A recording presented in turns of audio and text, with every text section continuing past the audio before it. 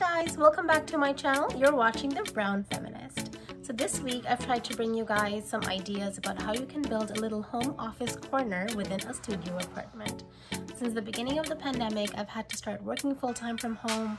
I've been doing nursing school from home. I record my podcast, do my YouTube channel, everything from within a little space. So I had to get really creative and create um, a very versatile and functional, comfortable, but also kind of a pretty little space where I would feel productive and where I would actually enjoy doing my work.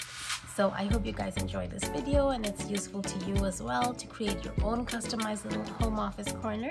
And please share your um, suggestions down in the comments below. Don't forget to give my video a thumbs up and subscribe. Thank you.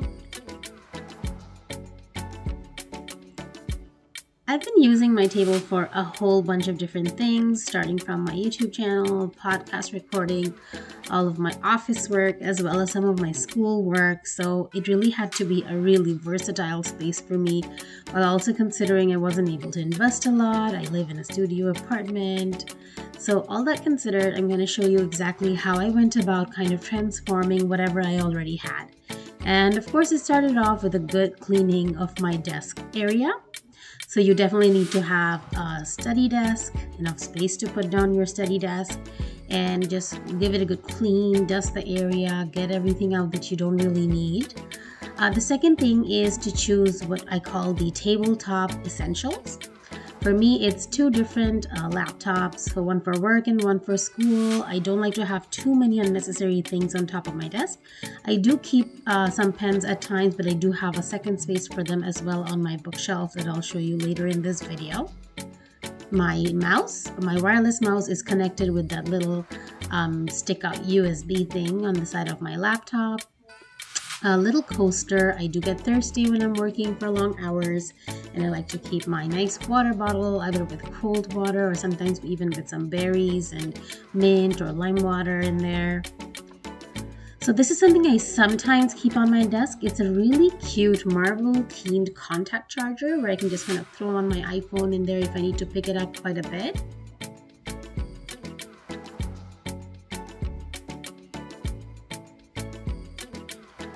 And then I of course have my amazing desk lamp. This was from Ikea. I bought it a couple of years ago. Not super expensive and it's just the perfect size.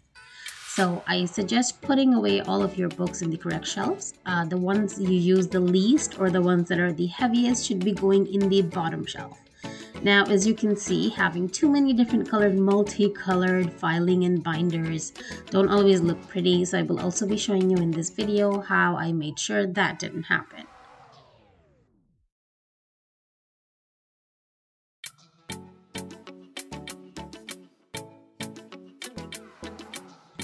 I went out to the dollar store and picked up a bunch of these. They're not super expensive, between one to two, three dollars each. And over the last couple of weeks, I've tried to like slowly phase out all of my multicolored binders and give them away or sell them off or share them with anyone who needed them and just moving on to like a monochromatic look. I really recommend if you can pick one pattern or one color that's right for your workspace just to kind of move over to that gradually. You don't have to go ahead and buy all the binders in the same day. Um, but try to move towards a one color or pattern that you really like and that really gives it a much better look.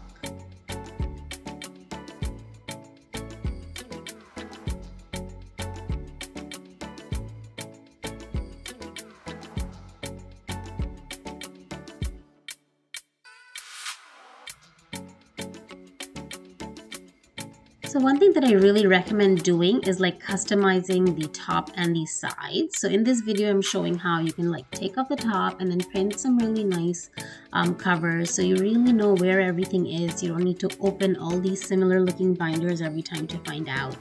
And even the way that you write down stuff, if they look very similar and have a color theme, then it just looks very elegant and it just, I don't know, it just puts me in a better mood, guys, um, when I see that everything's like really pretty and in my workspace as well as very functional.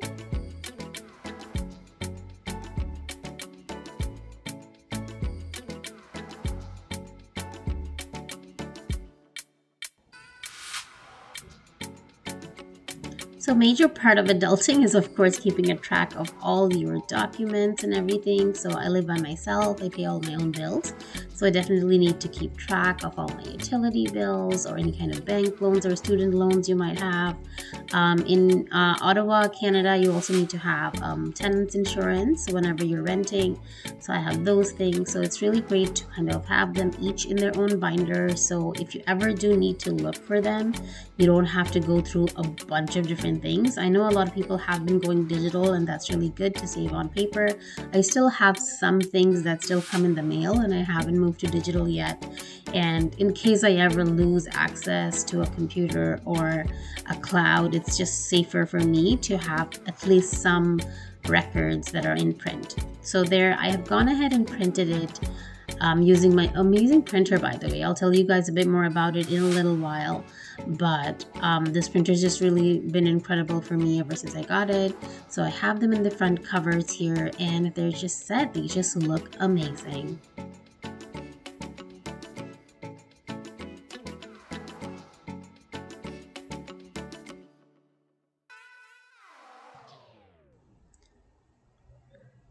So you can see it looks pretty disastrous. I actually got this for free. One of my old workplaces, they were throwing out these shelves and I don't know what they're called, like some kind of paper tray. And I had this stuff that hadn't been put away and it hadn't been cleaned. So I got this opportunity to do some DIY and kind of upscale this. Um, I only got this black spray from a craft store for about $6 on sale. And I didn't want it to be like all matte or pitch black. Um, I wanted it to have a little bit of the gray seeping through to give it like a really interesting look. And that's basically what I was able to achieve. So I was pretty happy with the end look and I hope you guys can find a way to customize it to whatever color theme is in your workspace without spending too much money, without having to go ahead and buy a whole bunch of stationery, which we know can be pretty expensive. So if you can find things secondhand or just hand-me-downs or something you someone threw out, um, it can be great for organizing your stuff. So I have my printer paper in there, which again goes into my favorite ever printer.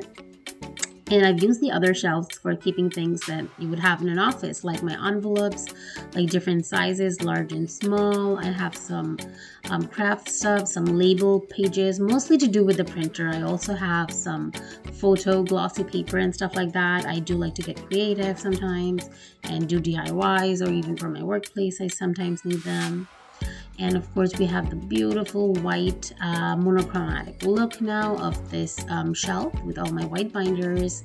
And I have like some other stuff right here. I'll show you. This is my favorite notebook again from the dollar store. And this is kind of where I write down all the ideas I've been having for my YouTube channel. And yeah if you guys just want to line them up I still have to go a little bit ahead with my monochromatic look but it's a work in progress